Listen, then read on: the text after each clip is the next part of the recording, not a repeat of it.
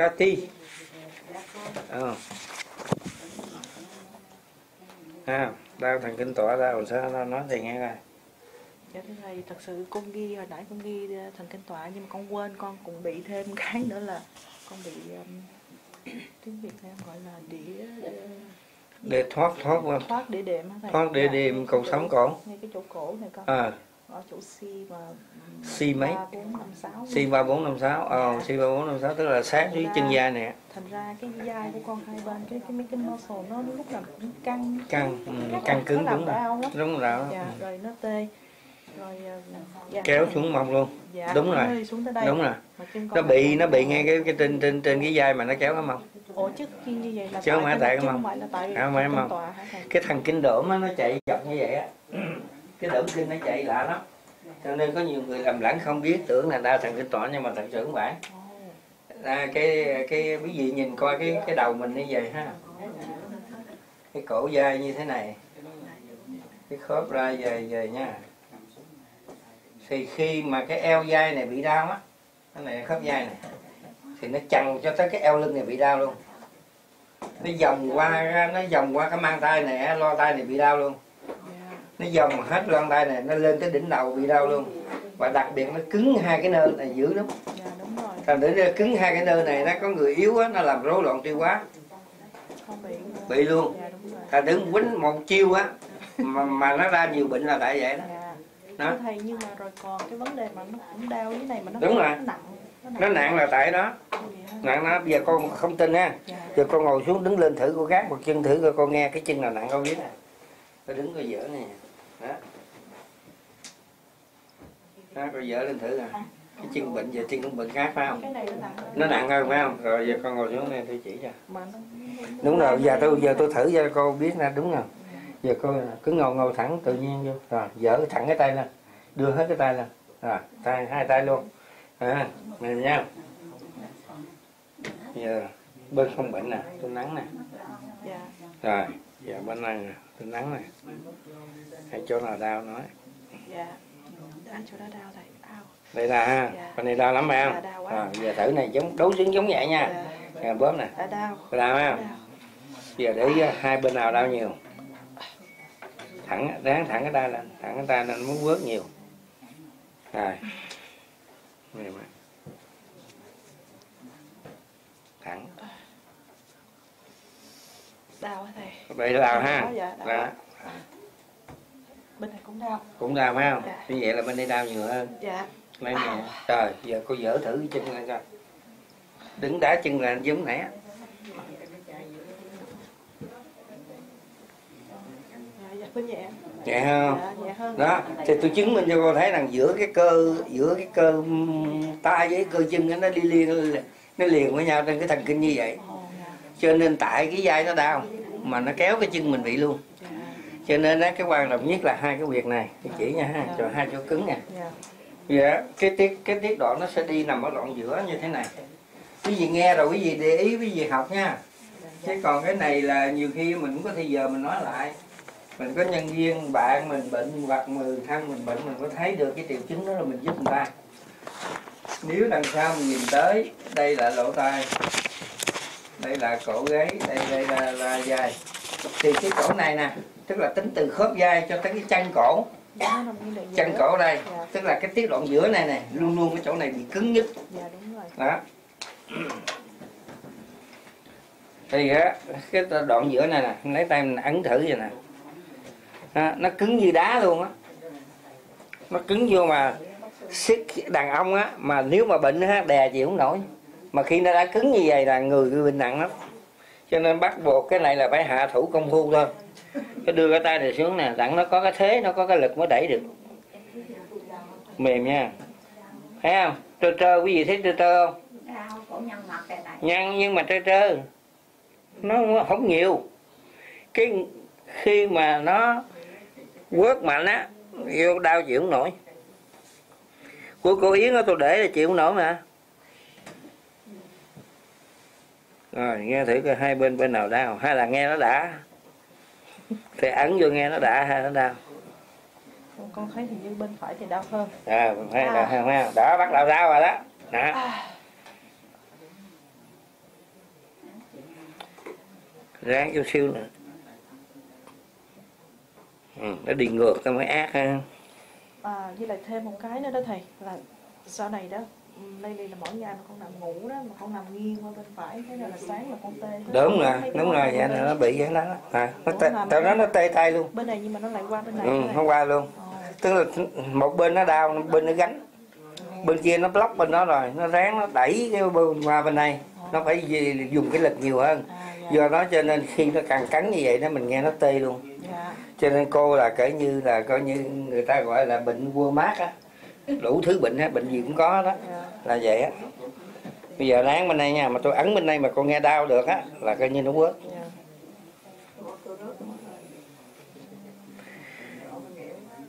nghĩa là bệnh gì cũng có mai là người có thể là cái người mà yếu á nó rối loạn tiêu hóa nó làm đủ thứ chuyện trên đời trời đất luôn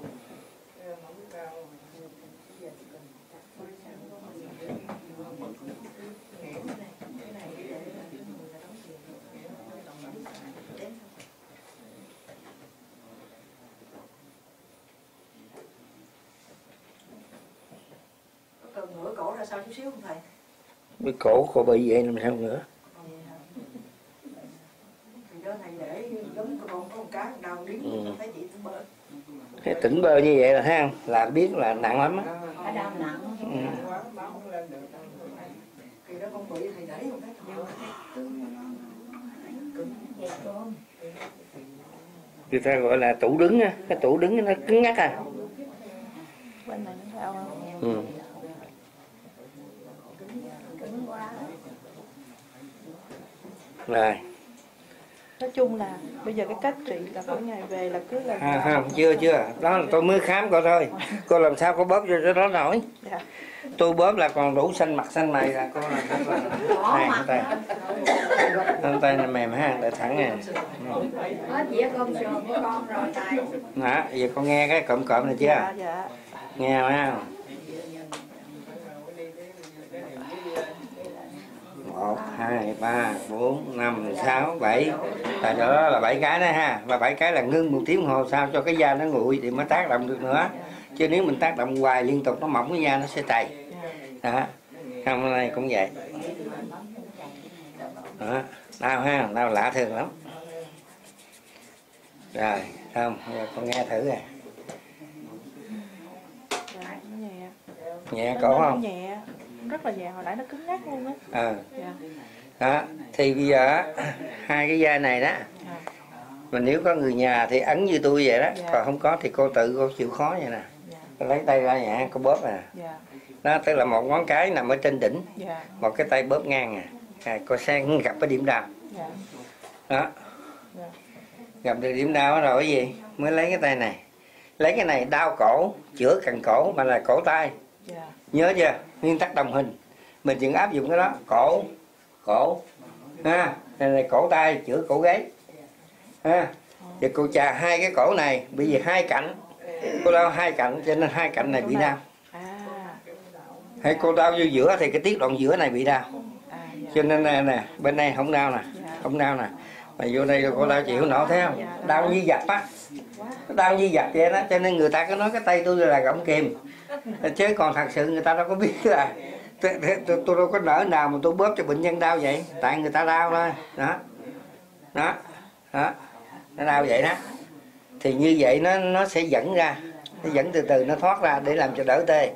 Mà khi nó thoát được cái dây rồi thì cái mông dễ cứu lắm. Không khó. Rồi bây giờ dẫn cho nó ra coi là chạm nổ á mình đưa cho nó ra như thu lôi á thì mình làm sao? Thì nguyên tắc cũng vậy. Cổ là tiết đoạn thứ nhất tính theo thân. Thì cái cánh tay này cái cổ tay này là cũng tiết đoạn thứ nhất tính theo tay. Bây giờ tính ra ngón tay thì tiết đoạn thứ nhất phải nằm đây. Dạ. Nè một nè hai ba. Dạ. Thấy không? Nó giống như cánh tay vậy. Nè ha. Một nè hai ba.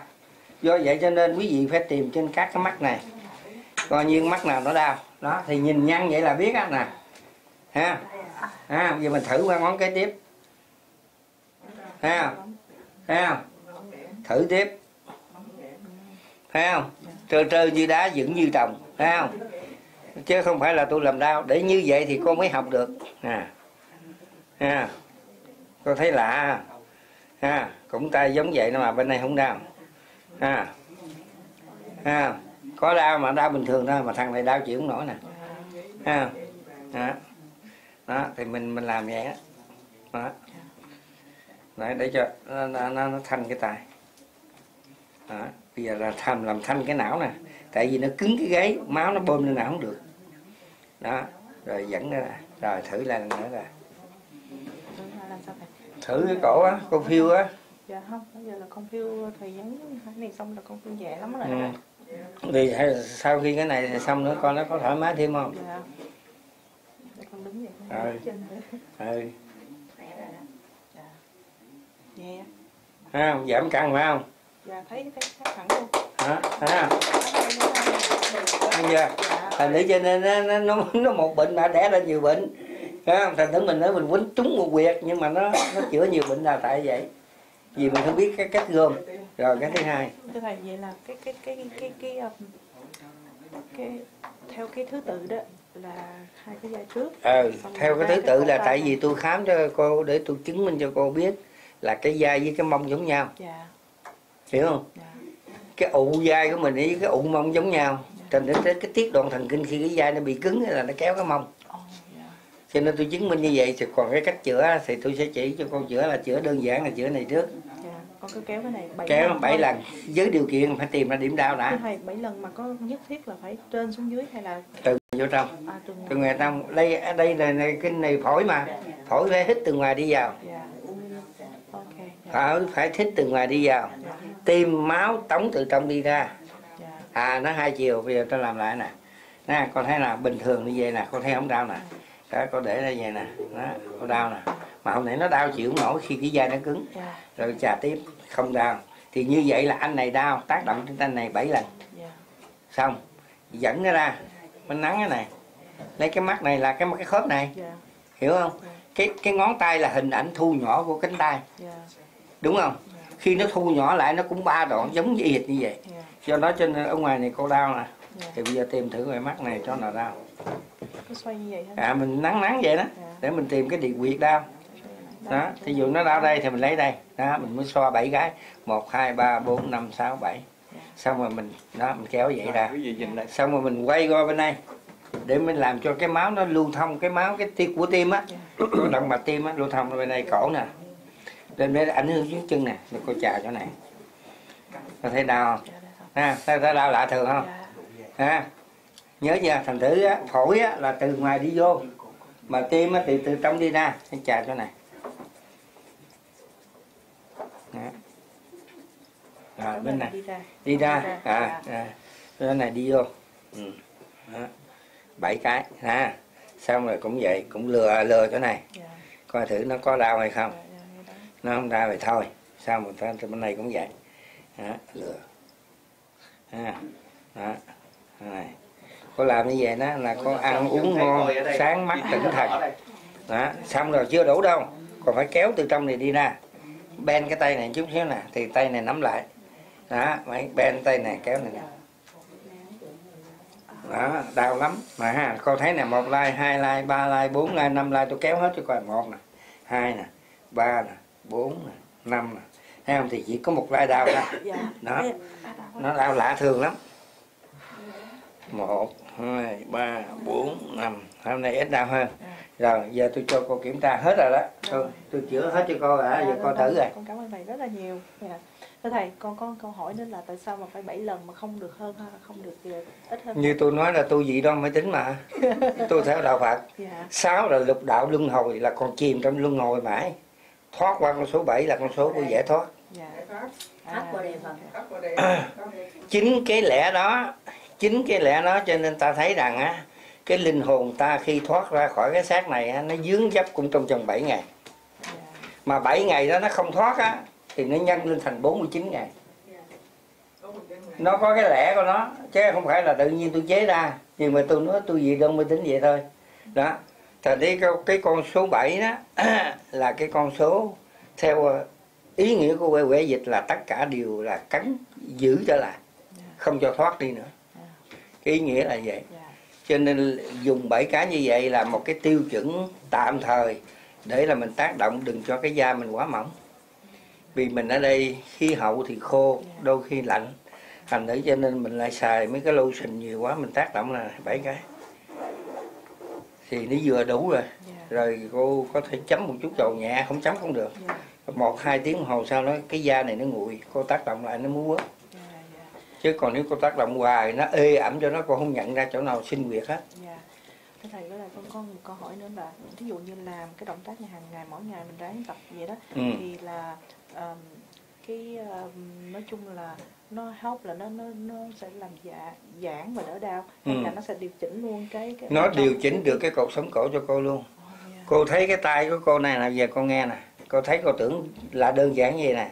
Tôi ấn vào cái việc này đó là tôi chỉnh cái cột sống cổ cho cô luôn á. Ồ, dạ dạ. À đây nè. À cái, này là nãy thì đi À, đây nè. đây nè đây, đi- thì trong này đi ra vậy đó. Dạ dạ. Thấy không? Tới đây không đau không? Mà tới đây đau nè. Dạ. Đó. Không? Giờ cái tiếp này không đau nè. Ừ. thấy không không đau nè thì như vậy ta tác động trên điểm đau 7 lần là bảy lần ừ. đau nhất cái chỗ này đó cô thấy nó không đơn giản nha nếu mà để lâu quá nó cái cổ cô nó rút một bên nó nó rút cái nó rút cái gân lưng luôn bây giờ nhiều khi nó cứng con nhìn qua bên này không được luôn á. đó nó tới vậy đó là thấy cô thấy cô làm như vậy đó là nó sẽ quớt đó đây nè ha bên này ha dạ. giống vậy mà nó không đau nó nó cũng đau nhưng nó không nó không đau bằng này Dạ. bên đây nó đau như Đau dữ lắm. như bầm giặt vậy Dạ, đó. Ừ. rồi con cảm ơn thầy rất rồi nhiều. a di đà Dạ. không có gì ráng cử mở. Dạ tất cả những cái gì của chất béo là phải cử. Dạ. Tại vì trong cái giai đoạn này mình cần cô lập không cho chất béo tác động nhiều. Dạ. Để cho cái gan nó mới nó đủ cái chức năng khi mình tác động á. Cái gan nó tiết ra cái chất để nó giúp mình để nó, nó trục độc cái đó. Ồ dạ dạ. Ừ. cái thứ hai ngay bây giờ phải chịu khó làm liền. Dạ dạ. Cô về cô mua cho khoảng 5 ao tỏi ở trong Costco á. Dạ. Cái tỏi mà đã lột tỏi ờ, chưa? lột vỏ ra rồi cân đủ đúng 5 ao dạ tương đương 100 gram Rồi để con xin phép thầy con ghi để con rồi lấy nhớ. lấy giấy ghi đi Sẵn đó, xin à. mời thầy Lộc ờ, phổ biến cái vụ mà tỏi chung cho bà con người ta Rồi. nghe trên net trên net ta nghe ta, ta làm luôn nhất là cái mùa này vì không Ừ. nhiều đó thành ra tỏi nếu quý vị nhớ lượng nè ghi lên mà 100 gram tỏi tương đương 5 ao 2 mình lấy 5 ao đi lấy 5 ao cho dễ nhớ 5 ao 5 ao tỏi. Lột vỏ rồi cân đúng 5 ao. Thì quý vị ngâm trong một lít rượu đế hoặc là rượu trắng rượu gin hoặc là rượu vodka tương đương 45 độ. Thì quý vị trong đó nó thường thường nó là chai nó là 75 cm cái chai bự của nó thành thường thường nó để một lít 75 cái chai vodka. Thì mình lấy ra phân một phần nữa thôi hoặc hai phần ba thôi thì tương đương một lít. Dạ. Mình mới đổ vô trong cái ngâm trong cái tỏi đó tỏi mình ép dập dập dập cho nó mau mau cho nó bể ra. Rồi rồi mình đổ ờ, cái cái, cái, ờ, rượu trắng nó vô trong cái bình chứa tỏi đó. Dạ mình để kính đậy để chỗ nào thoáng mát trong vòng 10 ngày. Dạ. Ngày thứ 11 bắt đầu mình lấy ra uống. Nhưng mà 11 ngày đó tỏi nó chưa đủ sức để nó tan. Cho nên trước khi uống á chịu khó sắc queo lắc mạnh chút để cho cái tỏi nó kích thích á, cái tiết ờ, cái cái cái những cái chất cái dược tính của tỏi á, nó sẽ đi ra theo rượu, rồi mình uống. Mới đầu tiên phụ nữ uống chưa quen rượu thì quý vị uống vào khoảng cái baby của em bé uống nước á, cái muỗng nhỏ đó. Cái muỗng nhỏ em bé sơ sinh mới uống á, uống một muỗng nhỏ nó rồi ăn cơm. Quý vị uống quen trong một tuần lễ đầu rồi, nó không cảm thấy gì khó chịu nữa, thì tới tuần thứ hai thì cái nồng độ rượu trong cái chai tỏi nó cũng đã bắt đầu giảm bớt rồi thì quý vị tăng lên cái mùa hai muỗng em bé đó tức là tương đương một muỗng cà phê. Tương đương một muỗng cà phê hoặc ba hoặc ba muỗng à, BB là tương đương muỗng cà phê. Sau tuần lễ thứ hai qua cái muỗng cà phê đó rồi quý vị thấy không có gì hết tức là mình cũng cảm thấy không nghe hôi. Uống cái đó bị nó nó bài tiết mồ hôi ra dữ lắm. Thành nữa nếu mình đi mình phải tiếp xúc với đám đông điều khi mình ngại mình nói nó hôi. Mà nếu mình thấy nó bình thường thì thôi thì quý vị có thể tăng lên tới hai muỗng cà phê trong mỗi bữa ăn. Tức là vừa uống rồi vừa là ăn liền chứ đừng để uống bụng đói nha. Nhớ không có được bụng đói vừa uống cái cái cái cái muỗng tỏi nó là ăn liền. Đó hoặc là ăn cơm no rồi uống cũng được nhưng mà uống khi cái bữa, vừa trước bữa ăn đó, nó sẽ quớt hơn.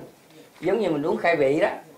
Thì đến khi qua tới tuần lễ thứ bảy quý vị tăng lên tới một muỗng canh bằng một muỗng canh tức là bằng một cái nhạo nhỏ nhỏ đó bằng cái nhạo mấy ông uh, cúng uống rượu đó khi đàn ông có thể uống thành một cái chung nhỏ đó thì mỗi bữa ăn quý vị cứ uống như vậy thì H1N1 H6N6 gì qua hết ngày xưa dân gian người ta không biết được bệnh gì người ta không có khoa học để phân tích do đó những cái information người ta không biết mà ta chỉ biết các bậc thánh ra là vậy con gà con mày mày mắc toi à mày nhét tỏi cho tao. Thì nó sống à? Thấy không? Thành để chính nhờ cái đó mà ngày nay đó khoa học đi ngược lại hoặc phân tích thì người ta thấy là trong tỏi có rất nhiều dược tính để chống cúm. Thì được gọi chống cúm. Trong cái mùa cúm giờ rồi quý vị biết người ta cúm quá trời đó mà tôi vừa chữa bệnh cho người ta bệnh cúm mà tôi không cúm. Mà cuối cùng tôi là người rớt cuối cùng đi ra khỏi chùa là tôi mới bị bệnh, bị bệnh. Mà nó bệnh lạ lắm. Nó tức hai ngực này nè căng dở hai tay này dở không nổi. Nó nhức tới cái đầu như vậy đó đến tôi nói cái kiểu này không lẽ đi nhà thương cưa cái sườn ngực tôi ra? Cái, cái bà xã tôi cứ ngạo máu cự nó biết đâu. Mình chữa cho thì vì mình phải lãnh thôi.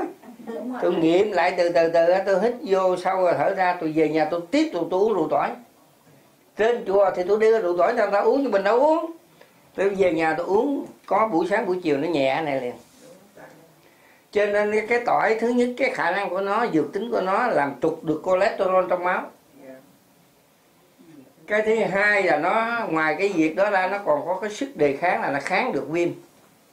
Cho nên những dược tính khó đó, người ta khó mà trích tinh được từ trong dược tính nó ra của tỏi trăm phần trăm, mà để trong cái tỏi sống nó tốt hơn. Cho nên quý vị thấy dân gian của mình có cái rất là khôn ngoan về mặt ẩm thực, mà đặc biệt dân tộc mình. Ăn những gì khó tiêu thí dụ như ăn nem là chất thịt sống phải không? Bỏ tỏi vô. Không? cái gì mà có tính cái khó tiêu đó là không chơi tỏi vô. Đó. Ví dụ đó là một cái bằng chứng như là nem nướng hay là nem sống là ăn phải có tỏi. Đó.